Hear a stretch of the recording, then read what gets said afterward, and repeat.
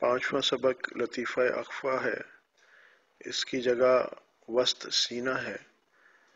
اس میں بھی یہی تصور کرنا ہے کہ اللہ جل جلالہ والہ کے ذکر کا انوارات، تجلیات، برکات کا نور حضور اقدس صلی اللہ علیہ وسلم کے لطیفہ اقفا سے، مشائق نقش بند کے لطیفہ اقفا سے ہوتے ہوئے میرے لطیفہ اقفا میں آ رہا ہے اور میرا لطیفہ اقفا اللہ اللہ اللہ کر رہا ہے۔